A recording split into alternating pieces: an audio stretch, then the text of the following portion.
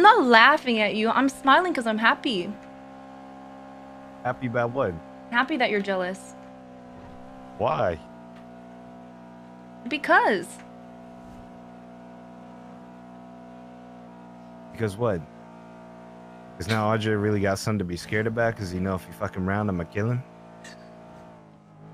No.